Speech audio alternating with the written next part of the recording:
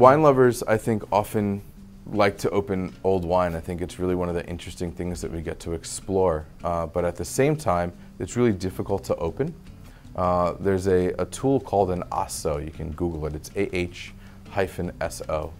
Um, and it's just a little two-pronged kind of handle that will slide down the side of a cork. They're super inexpensive and it makes opening an old bottle of wine so much easier because you don't actually have to penetrate the cork. You just go around it. Um, usually don't break things that way.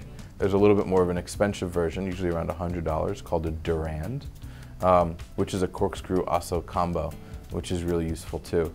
If you want to splurge, kind of a newer thing on the market is the Coravin, which I'm sure a lot of people have heard of, which allows you to kind of drink part of a wine by accessing it through a needle and replacing the void with an inert gas, argon. And I think for preserving a wine for a week or two, you really can have a wine be almost exact to the way it was when you opened it. When you really test kind of great wines or older wines for a longer period, there is a change.